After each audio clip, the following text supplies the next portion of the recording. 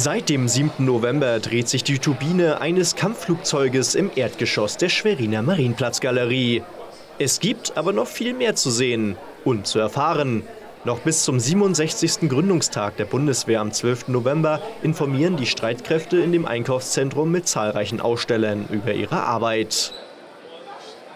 Ja, das ist einmal die Wertschätzung für die Stadt, das ist einmal die Wertschätzung für das Land Mecklenburg-Vorpommern und ich denke, es ist auch die Notwendigkeit, nach dem 24. Februar in der Öffentlichkeit präsent, weiter präsent zu sein. Zur feierlichen Eröffnung der Informationswoche am 7. November kam Mecklenburg-Vorpommerns Innenminister Christian Pegel. Er begrüßt den Auftritt der Bundeswehr in der Landeshauptstadt und das Engagement der Streitkräfte im Land. Mit der Aktion stellt die Bundeswehr umfassend ihre verschiedenen Arbeitsbereiche und Teilstreitkräfte vor. Sie sehen Streitkräfte und Bundeswehrverwaltung.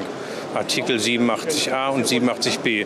Heer, Luftwaffe, Marine, ZIR, SKB, Personalabteilung, alles. Sie können sich insgesamt einmal einen kompletten Überblick verschaffen.